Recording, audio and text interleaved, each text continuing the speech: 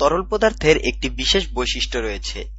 তরল সবসময় এমনভাবে থাকতে চায় যেন তার পৃষ্ঠের ক্ষেত্রফল সর্বদা সর্বনিম্ন হয়। অর্থাৎ তরল যদি কোথাও এভাবে ছড়িয়ে থাকে, তাহলে সেটি এমনভাবে থাকবে যেন তার পৃষ্ঠের ক্ষেত্রফল সর্বনিম্ন হয়। এই যে বলের প্রভাবে এই বিশেষ ধর্ম প্রকাশ পায়, তাকে বলে পৃষ্ঠটান। এই পৃষ্ঠটান ধর্মের জন্যই আমাদের পানির ফোঁটা গোলাকার হয়। পৃষ্ঠটান বলটা আসলে কি? কোন তরলের পৃষ্ঠে একটি সরলরেখা কল্পনা করলে ওই উক্ত রেখার প্রতি একক দৈর্ঘ্যে ওই রেখার উভয় পাশে যে লম্ব টান বল অনুভব হবে, তাকে পৃষ্ঠটান বলে। এই টান বলটি তলের সাথে স্পর্শক রূপে থাকবে। অর্থাৎ আমি যদি একটি এভাবে আঁকি তরলটি, ধরে নাও এটি একটি তরলের বুদবুদ, তাহলে এখানে এই স্পর্শক বরাবর বল ক্রিয়া করবে। তোমাদেরকে আগেই বলেছি যে এই সরল রেখা বরাবর একক দৈর্ঘ্যের বলকেই পৃষ্ঠটান বলে। কাজেই পৃষ্ঠটানের পরিমাপক হচ্ছে বল ভাগ দৈর্ঘ্য। আমরা একে বলি T is equal to F divided by L পৃষ্ঠটানের উপরে কিছু বিষয় প্রভাব করে, যেমন মিশ্রণ। তরলের সাথে যদি কিছু মিশ্রিত থাকে, তাহলে পৃষ্ঠটান কমে যায়। আবার তরলে যদি কোনো বস্তু দ্রবীভূত থাকে, তাহলে তার পৃষ্ঠটান বাড়তেও পারে, কমতেও পারে।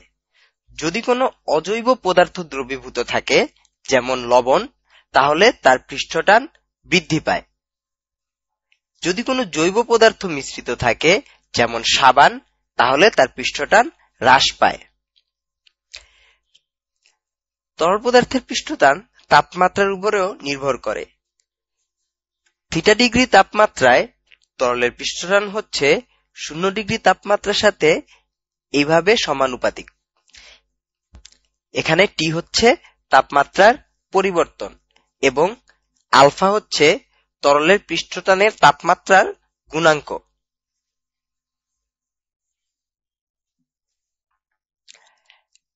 তরল যে মাধ্যমের উপরে অবস্থান করছে, তার উপরেও পৃষ্ঠটান নির্ভর করে।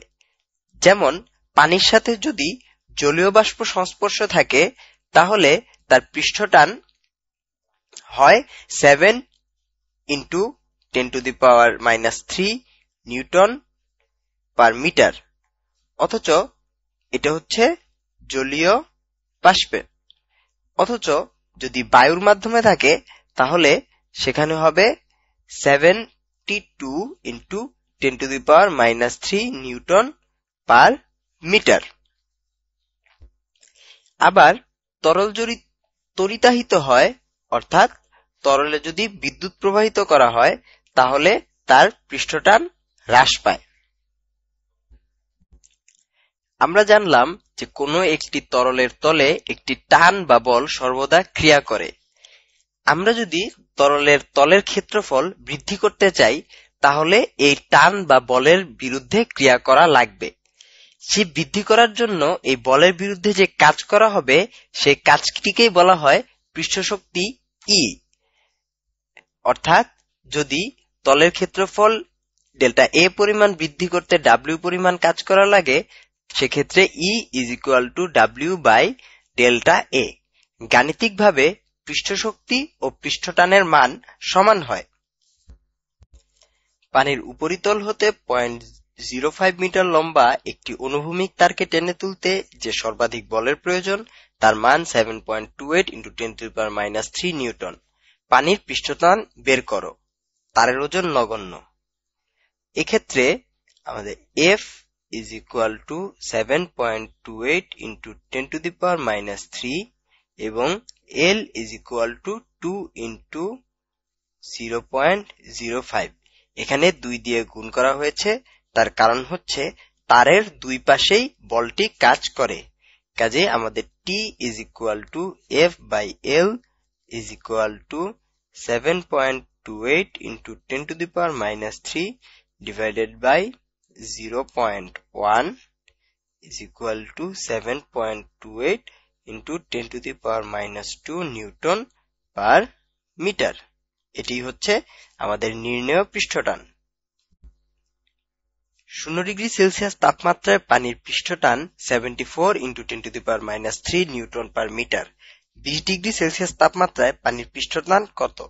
আমরা জানি T theta is equal to T not into one minus alpha T is equal to 74 into 10 to the power minus 3 into 1 minus 1.35 into 10 to the power minus 3 into 20 এখানে t হচ্ছে শূন্য এবং বিশের পার্থক্য। এটিকে আমরা হিসাব করলে পাই 72 into 10 to the power minus 3 newton per metre এটি হচ্ছে আমাদের নির্ণয় উত্তর। তরল পদার্থ যখন কোনো কঠিন পদার্থের সংস্পর্শে আসে, তখন তাদের মধ্যে কোণ উৎপন্ন হয়। এই কোণকেই বলে স্পর্শ কোণ ধরে নিচ্ছি একটি কৌশিক নলে আমরা দু ধরনের তরল রেখেছি। একটিতে রেখেছি পারদ আর একটিতে রেখেছি পানি। পানির ক্ষেত্রে পানি কাজকে এভাবে স্পর্শ করবে এবং পারদ স্পর্শ করবে এভাবে। এই ক্ষেত্রে স্পর্শকোণ এখানে হবে থিটা এবং এখানে স্পর্শকোণ হবে এই থিটা। খেয়াল করে দেখো, এটি হচ্ছে পানি এবং এখানে হচ্ছে পারদ। আমরা এখানে দাগ দিয়ে দেই, তাহলে বুঝে যাবে। পানির জন্য স্পর্শ কোণটি হচ্ছে সূক্ষ্ম কোণ, অর্থাৎ নব্বই ডিগ্রির চেয়ে কম। আবার এখানে পারদের জন্য স্পর্শ কোণ হচ্ছে নব্বই ডিগ্রির চেয়ে বেশি। কাজেই স্পর্শ কোণ আমরা বলতে পারি দুই প্রকার। একটি হচ্ছে সূক্ষ্ম আর একটি হচ্ছে স্থূল। যেসব তরল কাচের গা ভেজায়, অর্থাৎ কাচের সাথে লেগে থাকতে চায়, তাদের স্পর্শ কোণ হয় সূক্ষ্ম, কারণ তারা উপর দিকে যেতে চায়। আর যেসব তরল কাচের গা ভেজাতে চায় না, যেমন পারদ, তাদের স্পর্শকোণ হয় স্থূল, অর্থাৎ নব্বই ডিগ্রির চেয়ে বেশি। যেমন, বিশুদ্ধ পানির ক্ষেত্রে স্পর্শকোণ প্রায় শূন্য। অর্থাৎ বিশুদ্ধ পানি প্রায় উঠে যেতে যাবে। আবার রূপা ও পানির ক্ষেত্রে স্পর্শকোণ প্রায় নব্বই ডিগ্রি, অর্থাৎ আমি যদি রূপার একটি কৌশিক নল নেই, সেক্ষেত্রে পানির লেভেলটা থাকবে এমন। সোজা। আবার পারদের ক্ষেত্রে এই কাচ এবং পারদের স্পর্শ কোণ প্রায় একশো চল্লিশ ডিগ্রি, অর্থাৎ পারদ অনেকখানি বেঁকে থাকবে। ধরে নাও কিছু পানির মধ্যে আমরা একটি কৌশিক নল রাখলাম, যার ব্যাসার্ধ হচ্ছে আর এবং এই এর কৌশিক নলে এইচ উচ্চতা পর্যন্ত পানি উঠল। অর্থাৎ উচ্চতাটি হচ্ছে এইচ এবং ব্যাসার্ধ হচ্ছে আর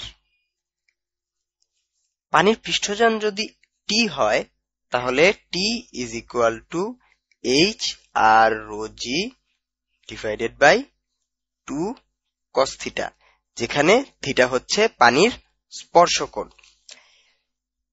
কাচ এবং পানির ক্ষেত্রে থিটা সমান জিরো ডিগ্রি ধরা হয়। কাজেই সেক্ষেত্রে আমরা বলতে পারি T is equal to H R rho G by two যেখানে এইচ হচ্ছে পানির উচ্চতা আর হচ্ছে কৌশিক নলের ব্যাসার্ধ, রো হচ্ছে পানির ঘনত্ব এবং জি হচ্ছে অভিকর্ষজ ত্বরণ। এই সূত্রটি তোমাদের ম্যাথ করতে কাজে লাগবে। একটি কৈশিক নলের ব্যাস point two millimetre, seventy two into ten to minus three newton per metre পৃষ্ঠটান এবং ten cube kilogram per metre cube ঘনত্বের পানিতে ডুবালে নলের কত উচ্চতায় পানি উঠবে? আমরা জানি T is equal to H R rho G divided by two এখান থেকে আমরা পাই H is equal to two T divided by R rho G is equal to two into seventy two into ten to the power minus three divided by R R হচ্ছে point two এর অর্ধেক, অর্থাৎ point one millimetre is equal to point one into ten to the power minus three metre is equal to one into ten to the power minus four metre অর্থাৎ এখানে আমি লিখতে পারি ten to the power minus four rho হচ্ছে ten cube এবং G হচ্ছে nine point eight কাজেই এই হিসাব করলে আমরা পেয়ে যাব zero point one four six nine metre এটি হচ্ছে আমাদের নির্ণেয় উচ্চতা। এখানে তোমাদেরকে অনুশীলনের জন্য কিছু সমস্যা দেওয়া হয়েছে। তোমরা এই সমস্যাগুলো ভালোভাবে অনুশীলন করবে, সাথে বইয়ের সমস্যাও অনুশীলন করবে। এখানে আরও কিছু সমস্যা রয়েছে, তোমরা ভিডিওটি পজ করে দেখে নাও। এটি এই অধ্যায়ের জন্য আমাদের সর্বশেষ সমস্যাগুচ্ছ।